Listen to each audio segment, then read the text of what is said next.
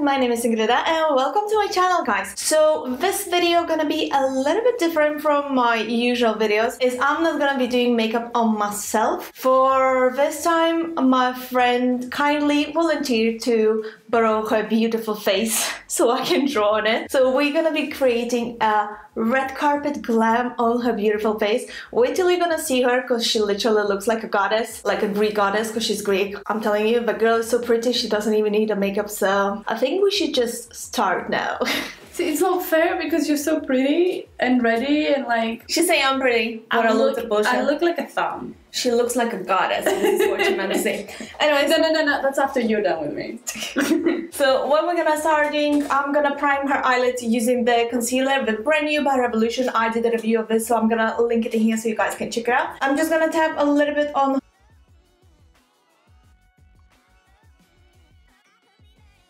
So I'm gonna set that quickly with NYX HD Studio setting powder. If I find a brush first. Hey, success. She has like at least 50 brushes in front of her. And she's like, oh no, if I find a brush. I don't know if you've seen um, a red carpet shows or anything like that. Most of the shows, the girls look very natural makeup looking kinda ish. It's kinda natural nude makeup, although it's so much makeup on. So we're gonna try to keep the eyes kinda like nudish and daytime ish, but but not really, if you know what I mean. We're gonna do a little bit contour and all, but I'm gonna keep it very daytime, kind of more like natural, pretty, and so on. So let's do it. So I'm gonna use a Makeup Revolution Flawless 3 Resurrection palette. If you have a Anastasia Beverly Hills Modern Renaissance, this is a dupe for it. You can use either, but I'm gonna go for this so you can recreate the look. As our transition color, we're gonna go with this color in here. So I'm gonna go slightly bit higher than her creases you literally, your face is so light for doing makeup. It's like somebody striking me with a feather. Really? Yeah. Very, very lightly. I don't want to buff in too much color or pick too much color to be like too intense. So I'm going just a tiny, tiny bit. If we will need more color, we can take a denser brush later and back it in the place and create kind of like a cut crease. I don't think we're gonna need that, so I'm just going very lightly. So next thing we're gonna do, I want to go slightly bit darker in here outer corners in a triangle shape. So for that, I'm gonna go with a darker brownish color. So first I'm gonna go with this color in here and then I'm gonna add a little bit of that and pack on the outer corners in a, like V shape and blend slightly out like to soften the edges.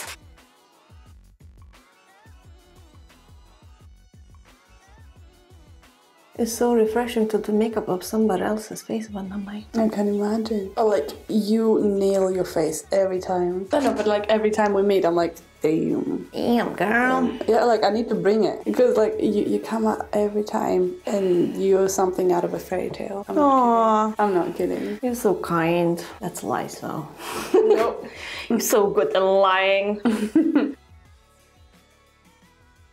So I prefer to put my eyeshadow first before I apply foundation for a few reasons. First, if there's any fallout, you don't ruin your foundation and you don't need to do any cleanups or anything. Second, if you go a little bit messy on the edge of your eyeshadow, you can tidy up later with your foundation with a sponge. So if you go messy, heavy-handed, don't worry about it. Everything's fixable. Next thing we're gonna do, we'll take the lighter shade and we're basically gonna go through all her it from the inner eye corner to the middle, blend it out to the darker point.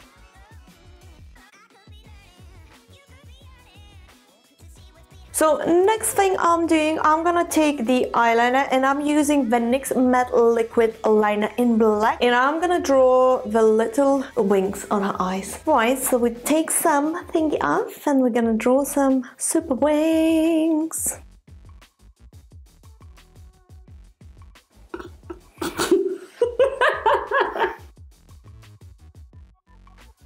So as you see, I took brush. You obviously can go just with an eyeliner, but for hygiene reasons, if you do makeup on anyone else, you shouldn't use anything straight from the packaging.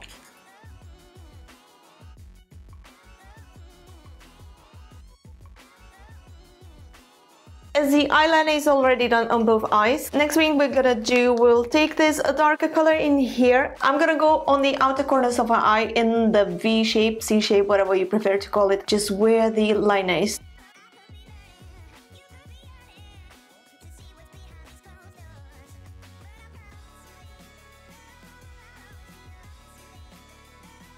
So I'm dragging the same color slightly bit closer to her inner corners through the top, higher than her crease is to create kind of like a cut crease a little bit, just to give more depth to the eyes, more definition. Swing we're gonna do, we're gonna curl her lashes a little bit. So what I'm doing, I'm gonna heat the curler a little bit up. You can use a lighter or you can do it with your hair dryer. Just before you're gonna actually put it on your eyes, check if it's not too hot, not to burn your eyelids. When you're doing this, go as close to your lash line as I can and then look up and pulse it. So that will curl the most of your lashes. Holy shit. Yep. That's, sorry. That, that's really cool. so next thing I'm gonna do, I'm gonna apply some mascara on her eyes. Once again, if you're doing makeup for someone else, make sure you get the disposable brushes rather than dipping into the actual mascara. I'm gonna apply some mascara and I'm gonna get back to you. So don't think you really wanna watch how I'm applying mascara because that ain't a rocket science. So I think we kinda done with the eyes. What I'm gonna do next, I'm gonna jump in with the face in contour a little bit, but first we're gonna prime. So for primer, I'm going with the NYX Angel Face face primer, skin primer, perfecting skin primer. And uh, for the foundation, we're gonna carry on with NYX. We're gonna use NYX HD Studio Photogenic Foundation in the color nude. And later gonna set with the NYX the same line HD Studio Photogenic Translucent Setting Powder. So first I'm just applying with a brush like a tiny bit and later I'm gonna go with a sponge to blend it. What do you think of the silicone sponges? I don't like it. I have a sil silly sponge in here. Mm. I apply it like instead of brush I would go with a silly sponge and then I would go with a normal to blend it. I know lots of people like brushes to use, mm-hmm. but for me personally, I don't know. I just maybe got used to using the sponges, sponges so much, so brush just kind of annoys me. so as you can see, she looks super pale now, and that's not what we want. We want to warm up her face. So I'm gonna use the NYX Wonder Stick and gonna warm up her cheeks, like cheekbones. All right. So what I'm doing, I'm putting on my hand first to melt a little bit the contour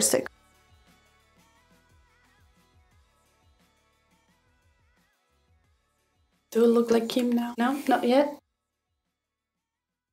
Already set a powder, set a powder, set a foundation with powder. So as you can see, there's far too much on the face because I'm waiting for it to dry in and absorb all the moisture out and set her foundation. So while we're doing that, I'm gonna jump in with her eyes with a lower lash line. So for that, I'm gonna start in the inner eye corner with this color and on the outer corner of the eye with this color.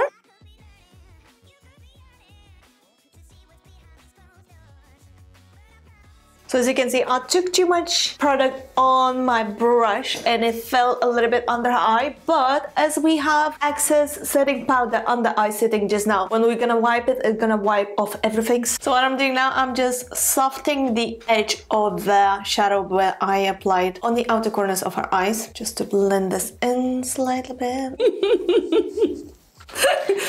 it's so hard to look at her and not laugh. Okay, let's do this again. I know, I have I'm a ready. clown face.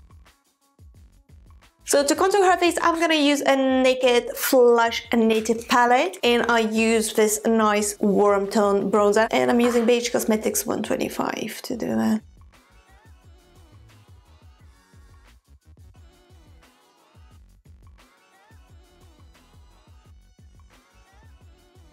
Gonna contour lightly her nose, just a tiny bit.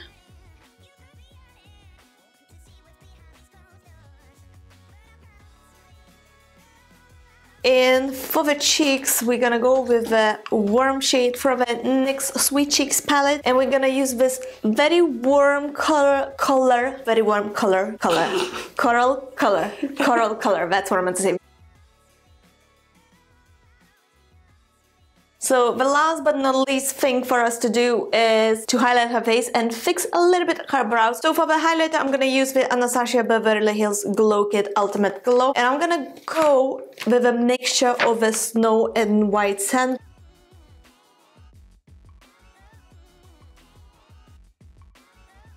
Taking a Smooth fan brush, once again mixing these two colors.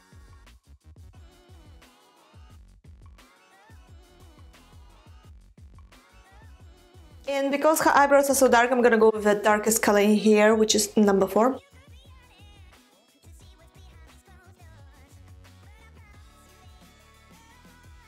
See a difference between brows now?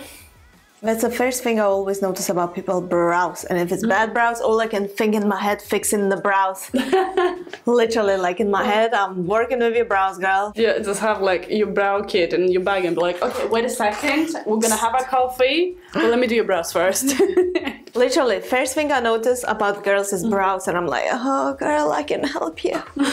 so the last thing to do is the lips. So we decided to go for a nude as this is a red carpet glam look. And usually on the red carpet, we like to use more like a nudish tones, although the dark purple would look nice in here. But anyways, we're gonna go for nudes. So we decided to go with this color here. You see I tried quite a few. And this one is the NYX matte lipstick in the color Honeymoon.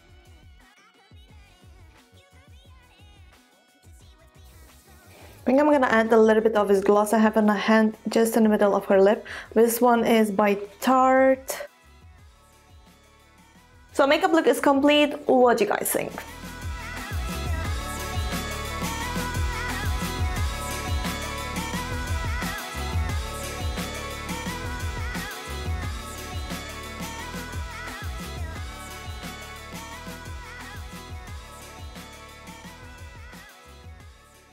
So as you just seen, she looks absolutely stunning. I mean, she looks stunning.